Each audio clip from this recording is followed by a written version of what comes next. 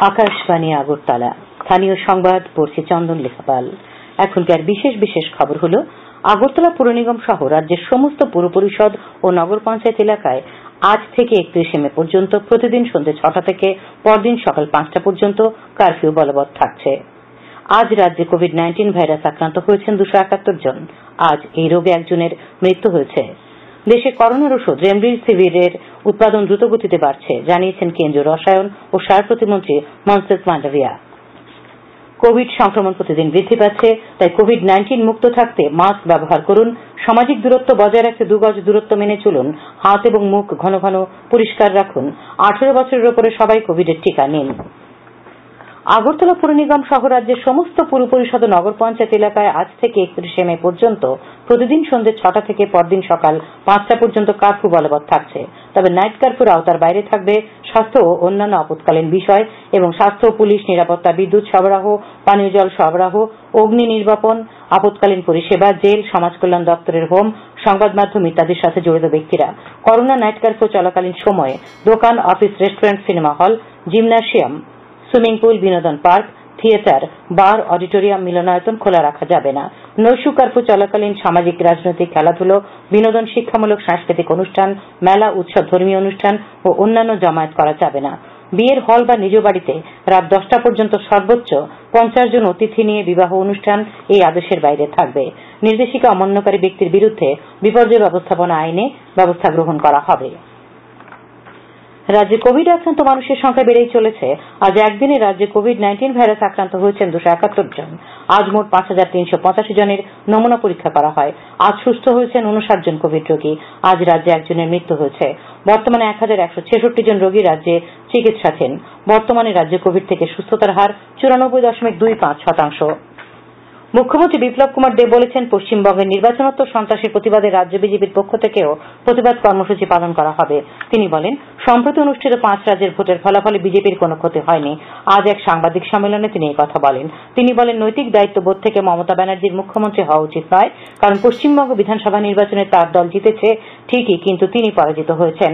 তিনি বলেন, এমন অনেকেই নির্বাচনে না লড়ে মুখ্যমন্ত্রী হয়েছেন, কিন্তু মমতা ব্যানার্জী নির্বাচনে প্রতিদ্বন্দ্বিতা করেছেন এবং হেরেছেন। আজকের এই সাংবাদিক সম্মেলনে উপমুখ্যমন্ত্রী জিষ্ণু দেববর্মা সাংসদ প্রতিমা ভৌমিক ও রেবতী ত্রিপুরা এবং বিজেপি প্রদেশ সভাপতি ড মানিক সাহা উপস্থিত ছিলেন। স্টেট লেভেল ব্যাংকার্স কমিটির সার্কেল হেড আনন্দ কুমার জানিয়েছেন, সন্ধ্যে ছটা থেকে নৈশু কার্ফিউর পরিপ্রেক্ষিতে সকাল দশটা থেকে বিকেল চারটা পর্যন্ত ব্যাংকের কাজকর্ম চলবে। তবে লেনদেনের কাজ চলবে বেলা দুটো পর্যন্ত। এটিএম পরিষেবা দিনরাত চব্বিশ ঘন্টায় চালু থাকবে। অল পেট্রোলিয়াম ডিলার্স অ্যাসোসিয়েশনের পক্ষ থেকে জানানো হয়েছে, নৈশু কার্ফুর পরিপ্রেক্ষিতে পেট্রোল পাম্পগুলি সকাল ছটা থেকে বিকেল পাঁচটা পর্যন্ত খোলা থাকবে। তবে শুধুমাত্র জরুরি পরিষেবায় যুক্ত যানবাহনে পেট্রোল, ডিজেল দেওয়া হবে সন্ধ্যে সাতটা পর্যন্ত। খবর প্রচারিত হচ্ছে আকাশবাণীর আগরতলা কেন্দ্র থেকে। দেশে করোনার ওষুধ রেমডেসিভিরের উৎপাদন দ্রুত গতিতে বাড়ছে। কেবল কয়েকদিনে ভারতে রেমডেসিভিরের উৎপাদন ক্ষমতা তিনগুণ বেড়েছে। খুব শীঘ্রই ক্রমবর্ধমান চাহিদা মেটানো সম্ভব হবে বলে জানিয়েছেন কেন্দ্রীয় রসায়ন ও সার প্রতিমন্ত্রী মনসুখ মান্ডভিয়া। দেশে রেমডেসিভিরের উৎপাদনের পরিমাণ গত বারোই এপ্রিল সাতত্রিশ লক্ষ থেকে আজ দাঁড়িয়েছে এক কোটি পাঁচ লক্ষে। বিশেষ এই ওষুধটির চাহিদা ক্রমাগত বাড়তে থাকায় দেশে উৎপাদন কেন্দ্রের সংখ্যাও গত বারোই এপ্রিল কুড়িটি থেকে বেড়ে আজ সাতান্নটি হয়েছে। স্বাস্থ্যমন্ত্রক জানাচ্ছে, গত চব্বিশ ঘন্টায় তিন লক্ষ কুড়ি হাজারেরও বেশি করোনা মুক্ত হয়েছেন। গত চব্বিশ ঘন্টায় প্রায় তিন লক্ষ সাতান্ন হাজার দুশো উনত্রিশ জন নতুন করে করোনা আক্রান্ত হয়েছেন। সারা দেশে সুস্থতার হার একাশি দশমিক নয় এক শতাংশ। বর্তমানে দেশে চিকিৎসাধীন রোগীর সংখ্যা চৌত্রিশ লক্ষ সাতচল্লিশ হাজারেরও বেশি। গত চব্বিশ ঘন্টায় তিন হাজার চারশো উনপঞ্চাশ জনের বেশি মৃত্যু হয়েছে। এদিকে সারা দেশে এ পর্যন্ত পনেরো কোটি উননব্বই লক্ষেরও বেশি টিকাকরণ হয়েছে। গত চব্বিশ ঘন্টাতে সতেরো লক্ষেরও বেশি টিকা দেওয়া হয়। সারা দেশে এ পর্যন্ত প্রায় তেরো কোটি মানুষকে করোনার প্রথম ডোজের টিকা দেওয়া হয়েছে। অন্যদিকে প্রায় দু কোটি নব্বই লক্ষ মানুষ দুটি ডোজ নিয়েছেন। তৃতীয় পর্যায়ে আঠারো থেকে চুয়াল্লিশ বছর বয়সীদের মধ্যে এ পর্যন্ত চার লক্ষেরও বেশি টিকাকরণ হয়েছে। রাজ্যে আইনের শাসন নেই বলে অভিযোগ করলেন প্রদেশ কংগ্রেস সভাপতি পীযুষ কান্তি বিশ্বাস। আজ কংগ্রেস ভবনে আয়োজিত এক সাংবাদিক সম্মেলনে শ্রী বিশ্বাস এই অভিযোগ করেন। তিনি আরও অভিযোগ করেন যে, গতকাল তেলিয়ামুড়ায় কংগ্রেস কর্মীদের বাড়িঘরে বিজেপি কর্মীরা হামলা করে। নটি বাড়িতে ঢুকে বাড়িঘর ভাঙচুর করা হয় এবং লুটপাট করা হয়। তিনি বলেন, এই সমস্ত ঘটনায় সুনির্দিষ্ট অভিযোগ জানিয়ে থানায় অভিযোগ করা হয়েছে, কিন্তু পুলিশ একজনকেও গ্রেপ্তার করেনি। এমনকি এফআইআর ও নেয়নি বলে অভিযোগ করেন তিনি। যদি দোষীদের গ্রেপ্তার না করা হয়, তবে বৃহত্তর আন্দোলন করা হবে বলে তিনি জানিয়েছেন। আগামীকাল প্রদেশ কংগ্রেসের পক্ষ থেকে তিনি তেলিয়ামুড়া যাবেন বলে জানান। প্রয়োজনে তিনি আদালতের দ্বারস্থ হবার কথাও জানিয়েছেন। সিপিআইএম রাজ্য সম্পাদক মন্ডলীর পক্ষ থেকে রাজ্যে করোনা ভাইরাসের সংক্রমণ বৃদ্ধি পাওয়ায় গভীর উদ্বেগ প্রকাশ করা হয়েছে। সম্পাদক মন্ডলীর পক্ষ থেকে রাজ্যে আরটিপিসিআর পরীক্ষা ক্রমে কমানো হচ্ছে বলে অভিযোগ করা হয়। বিবৃতিতে, করোনা সংক্রমিত রোগের অনুসন্ধান প্রক্রিয়া জোরদার করতে ও আরটিপিসিআর পরীক্ষা বাড়াতে রাজ্য সরকারের কাছে দাবি জানানো হয়েছে। এছাড়াও, জেলায় জেলায় উপযুক্ত চিকিৎসা পরিকাঠামো গড়ে তুলতে, টিকাকরণ বাড়াতে ও সরকারি খরচে সবাইকে টিকাকরণের দাবি করা হয়েছে। বিবৃতিতে, নৈশ কার্ফিউ চলা চালু হওয়ায় শ্রমজীবী মানুষের দৈনিক উপার্জন কমে যাবে বলে আশঙ্কা ব্যক্ত করা হয়। আয়করদাতা নন এমন সমস্ত পরিবারের সদস্যদের প্রতি মাসে মাথাপিছু দশ কেজি খাদ্যশস্য বিনামূল্যে সরবরাহ।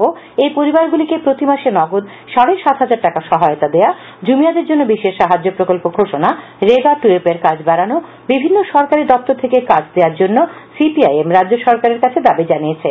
এছাড়াও নিত্য প্রয়োজনীয় পণ্যের দাম নিয়ন্ত্রণে নজরদারি বাড়াতেও বিবৃতিতে দাবি জানানো হয়। ত্রিপুরা সরকারের অধীনস্থ ত্রিপুরা হর্টিকালচার কর্পোরেশন লিমিটেডের সৌজন্যে ভর্তুকি মূল্যে পাওয়ার টিলার সহ কৃষি যন্ত্রপাতি পাবার ঠিকানা হল ঊনকোটি জেলার কুমারঘাটে। উত্তর ত্রিপুরা, ধলাই ঊনকোটি জেলার কৃষকদের সুবিধার জন্য কৃষি যন্ত্রপাতি ভর্তুকি মূল্যে বিক্রয়ের কেন্দ্রটির আজ উদ্বোধন হয়। ত্রিপুরা হর্টিকালচার কর্পোরেশন লিমিটেডের চেয়ারম্যান তথা বিধায়ক সুধাংশু দাস এই কেন্দ্রটির আনুষ্ঠানিক উদ্বোধন করেন। উদ্বোধকের ভাষণে তিনি বলেন, আগামী দু হাজার বাইশ সালের মধ্যে কৃষকদের আয় দ্বিগুণ করার জন্য ভারত সরকারের ঘোষণাকে বাস্তবায়িত করতে উদ্যোগ নেওয়া হয়েছে।